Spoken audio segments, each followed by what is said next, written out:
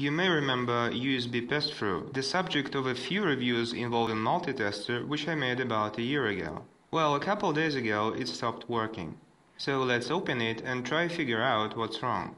The pass-through is essentially an eGo USB battery without the cell. So to disassemble a USB pass-through, you need exactly the same thing required to strip an eGo battery, a cone which was popular back in the thin 1.8 Clearomizer days. Screw it onto the connector, hold the battery by the cone and tenderly shaking it sideways, pull out the button model.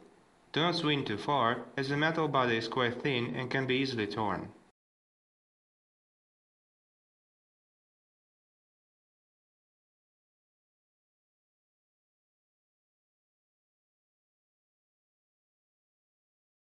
As the connector pops out, the malfunction reason becomes obvious. The plus wire got disconnected from the post.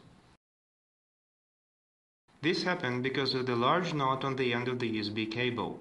While it prevents the cable from falling out of the device body, it does little to avoid cable rotation while in use. So eventually one of the wires tore off. Not a big deal and could be fixed within seconds with a touch of the soldering iron.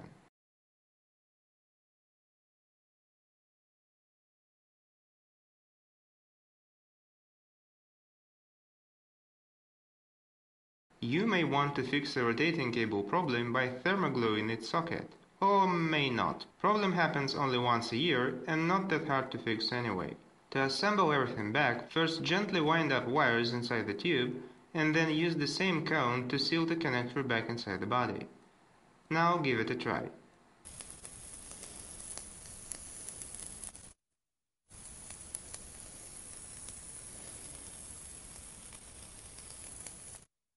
Everything works perfect.